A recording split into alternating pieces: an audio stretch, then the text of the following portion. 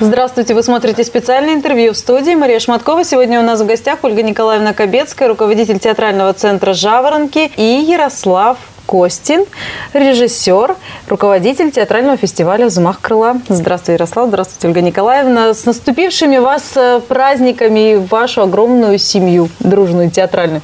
Ольга Николаевна, 2020 год ворвался буквально, но вы, мне кажется, даже не отдыхали.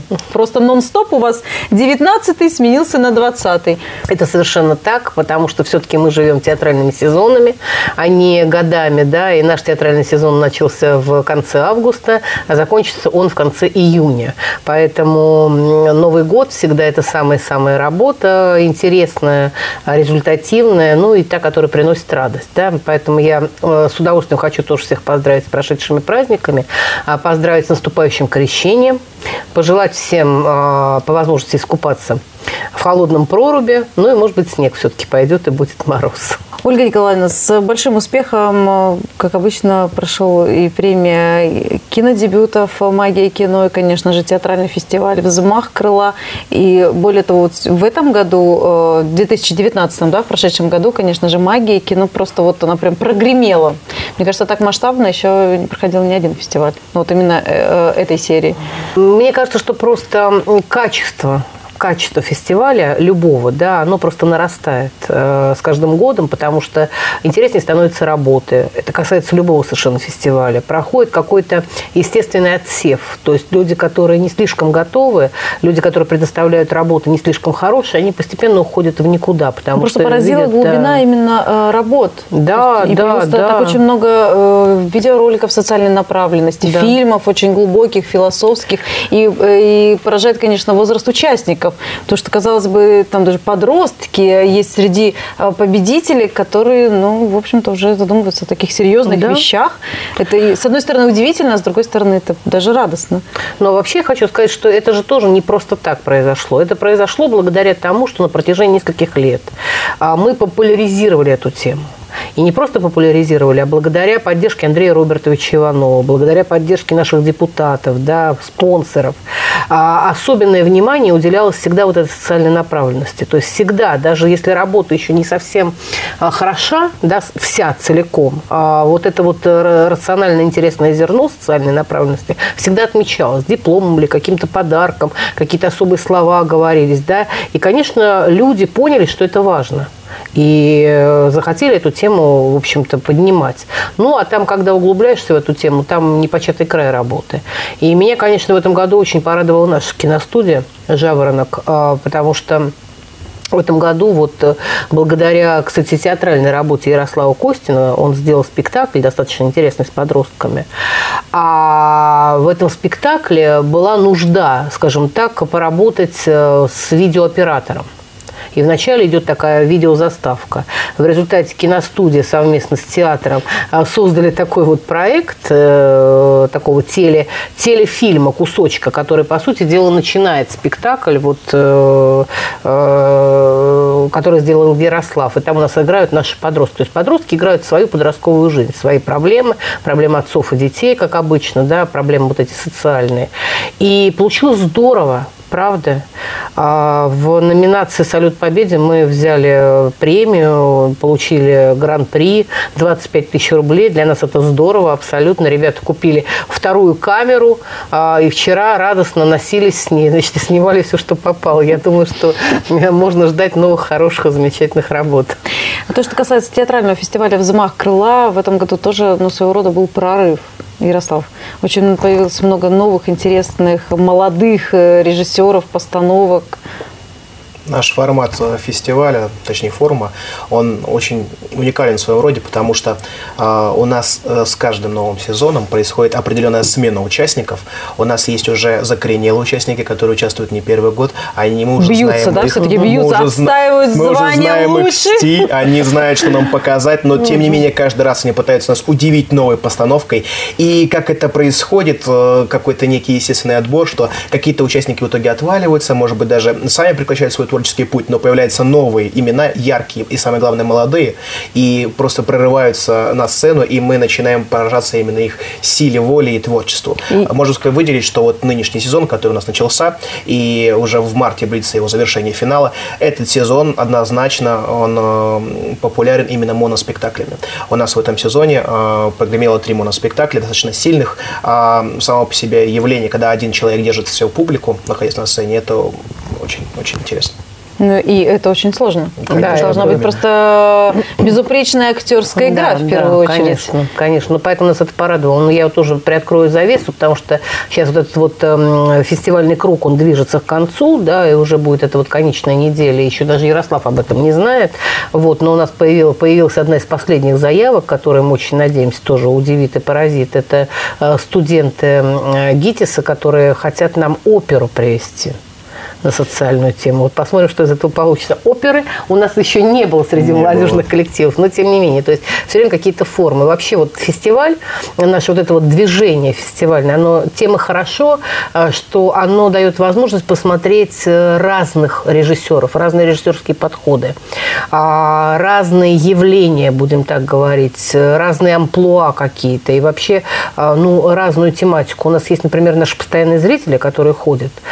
Причем это вот, скажем, совсем не молодые люди. И э, на начальном этапе они сами удивлялись. Им казалось, что они любят только классику. Да, вот, ну, как бы. А вдруг разделился этот лагерь, оказалось, что люди любят не только классику, что люди любят и артхаус, да, и сюрреализм, и шоу-программы, да, и они сами для себя открыли. Потому что, оказывается, важен не столько жанр, сколько а, мастерство этой подачи. Вот, кстати говоря, в эту субботу, э, кто еще не успел у нас побывать, э, мастерская Валентина Васильевича Теплякова, Институт театрального искусства имени Кобзона, дает э, премьеру режиссера Василиса Теплякова. Э, очень интересную, в 5 часов. В общем, всех приглашаем. Кто не успел, тут опоздал. Ребята, это уникальные вещи, которые вы просто не увидите нигде, кроме театрального центра «Жаворонки». Если говорить о фестивале «Наш дебют», который будет проводиться во да. второй раз. И в прошлом году он, э, в общем-то, снискал достаточно большой отклик. Кстати, это вообще очень интересное такое начинание. Мы с Ярославом в прошлом году сидели, думали, как бы нам а, привлечь подрастающее поколение. Потому что, ну, известная такая вещь, да, что а, люди взрослеют все. И вот наши даже студийцы, которые вчера еще были совершенно детьми, мы их там все дети, дети, дети, дети, они уже не дети, да, они уже вышли в другую категорию подростковую. И мы поняли, что нам нужно растить не только своего зрителя, но нужно растить и а, своего участника. Для того, чтобы участники интересные, качественные, хорошие а, появлялись у нас во взмахе крыла, нам нужно дать площадку и возможность попробовать себя детям. Отсюда и родилось вот это вот э, название, наш дебют, да, то есть это вот дебют э, у такой начальный у малышей. Вот. Ну и возможность действительно детям, выступив вот в таком формате, в достаточно серьезном, получить право и возможность лауреатам выступить на взрослом фестивале «Взмах крыла».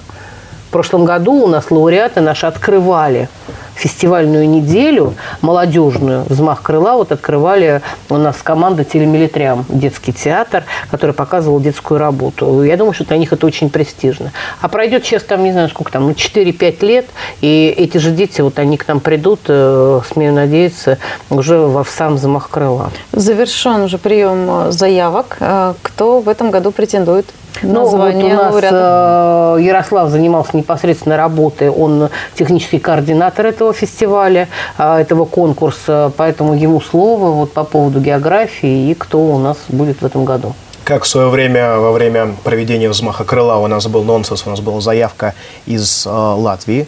Э, в этом году в нашем конкурсе фестивальном «Наш дебют» заявился, фести, э, заявился коллектив из Рязани. Они заявили сразу три спектакля и готовы к нам приехать и участвовать. Я думаю, несомненно, это дало резонанс, то, что наш главный приз, который мы э, гарантируем победителю, обладателю гран-при нашего дебюта, это участие в форуме «Взмах крыла» определенно. А у нас есть две номинации творческие. Это «Чтецы», и театральная номинация. В плане театральной номинации могу сказать, что в этом году произошел интересный рост номинаций. Во-первых, участников стало меньше по одной простой причине. Когда я делал звон участников, мне говорили, что, к сожалению, не успели сделать ничего нового за год, а привозить старое вам не хотим. То есть это показывает то, что мы даем некий толчок к развитию, потому что для меня было удивлением, когда я узнал, сколько есть много театральных студий у нас в Одинцовском э, городском округе, которые нигде не были заявлены, потому что могли показывать только на своих площадках, в школе, где-нибудь в гимназии, в маленьком ДК, а тут у них было развитие, они могут показать себя, проявить себя. И вот это уже определенная ступень уже, что они готовят новые, новые спектакли. И э, проблема была в том, что, например, коллектив «Больших везем» говорит, что, к сожалению, у нас премьера будет э, чуть позже, в феврале, в середине февраля. Мы не можем вам ее привести, еще сырой материал. Вот.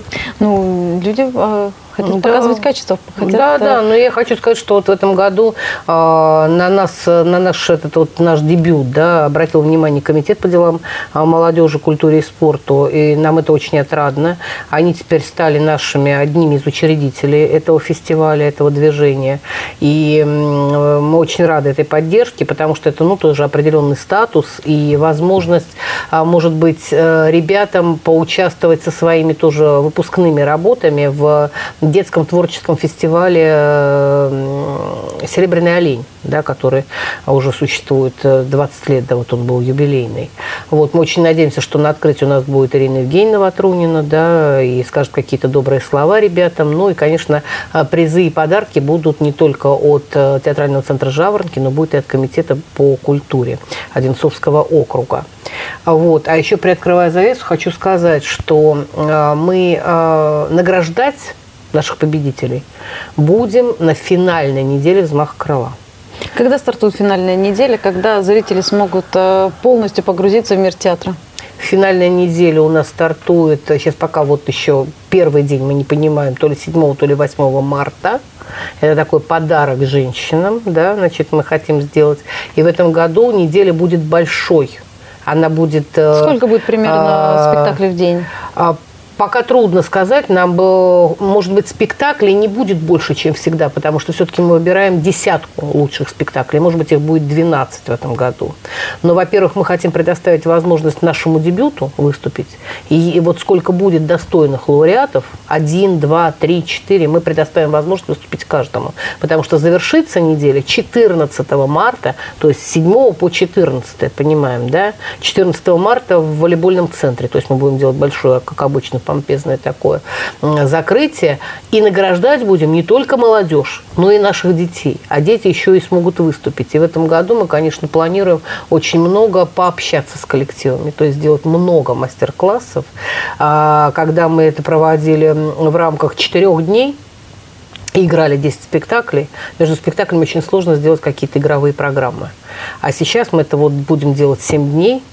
И очень хотим какие-то дни э, сделать чисто для участников форума то есть чтобы можно было провести э, игры театральные, мастер-классы, потусоваться, сделать какие-то капустнические номера совместные, вот, чтобы действительно все плотнее и плотнее было вот это содружество талантов, и не только талантов, но и содружество двух поколений, да, то есть вот более младшего поколения, которые вот из нашего дебюта придут самые лучшие, и тех людей, которые действительно уже, ну, можно сказать, профи, потому что все, кто выходит в десятку лидирующую, это классные, хорошие спектакли, замечательные. А, где можно получить информацию, как можно попасть на эти спектакли? Свободный ли вход для зрителей? Спектакли «Взмаха крыла» платные. Плата очень символическая. Да? Значит, все есть на нашем сайте октеатра.ру.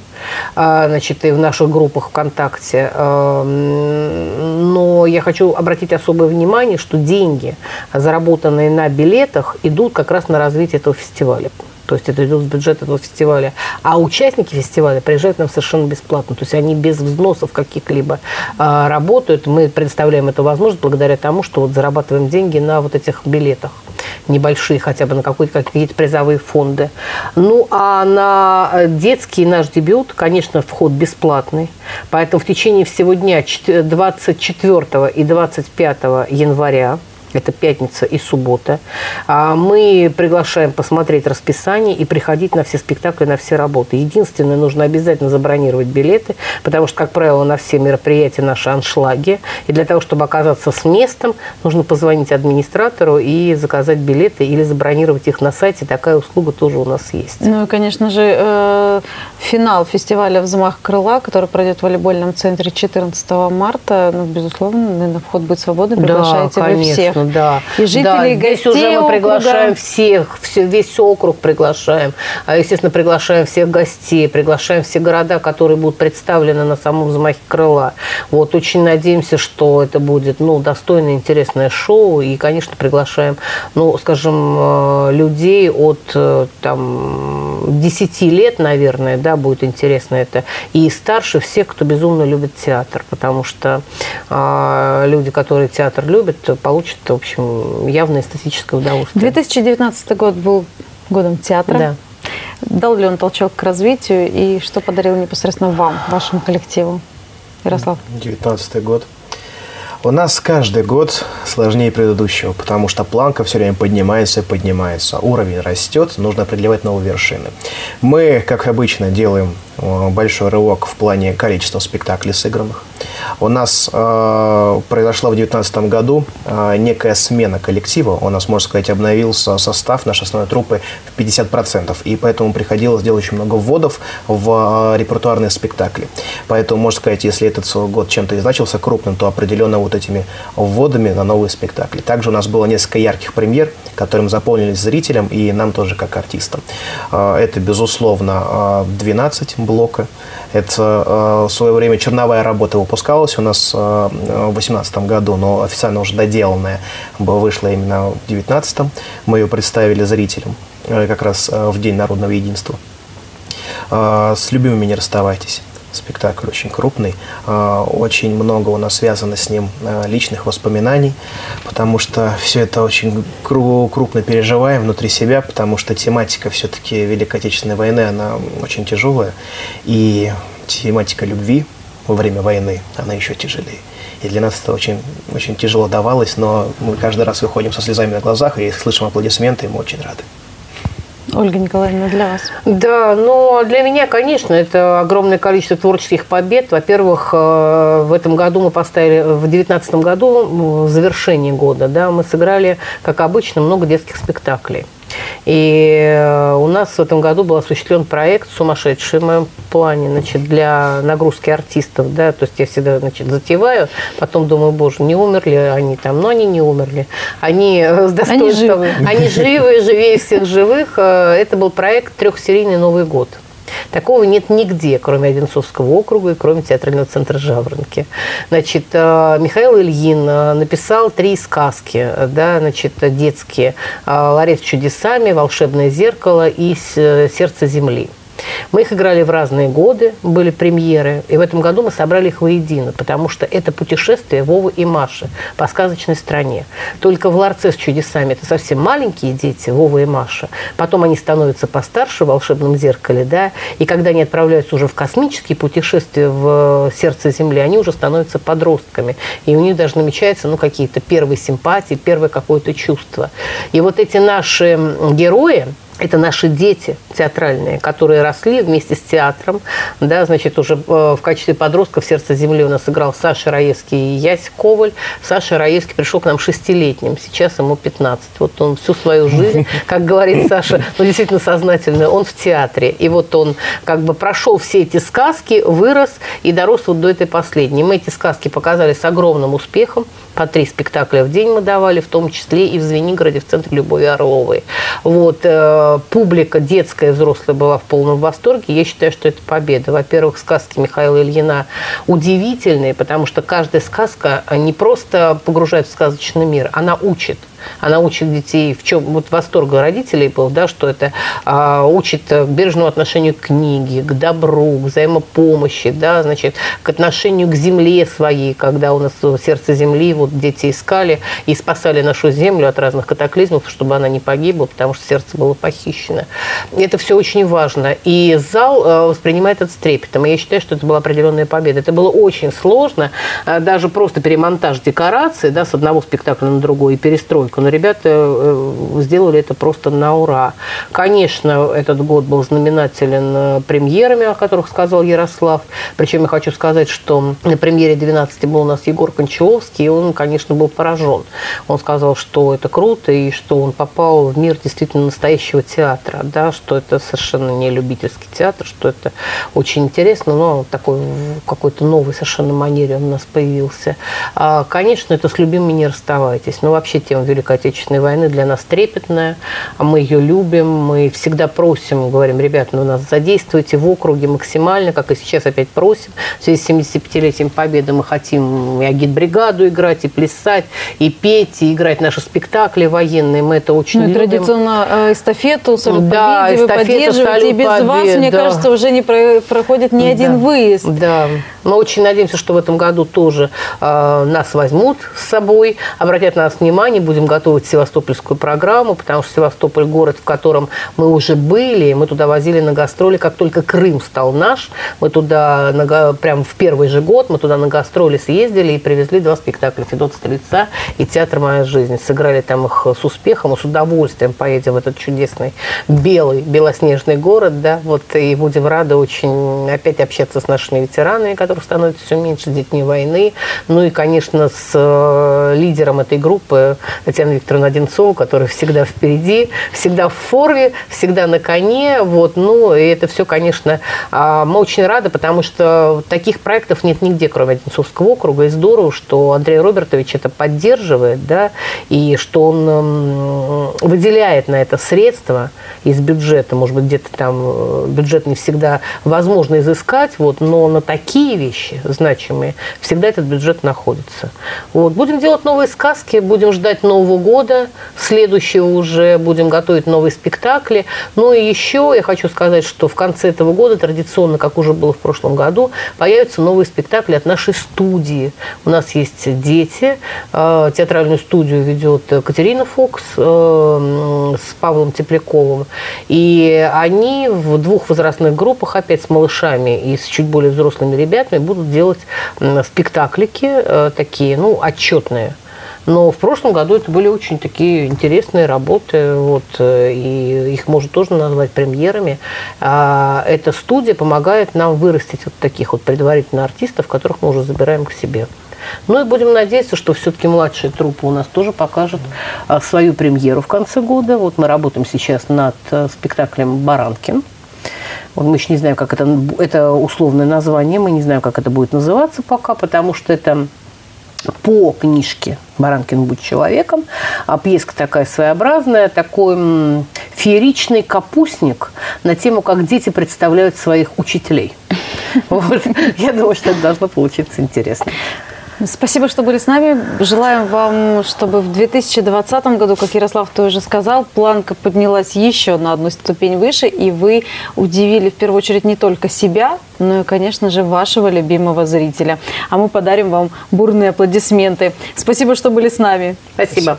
Всего доброго. Вы смотрели специальное интервью. Оставайтесь на нашем канале. До свидания.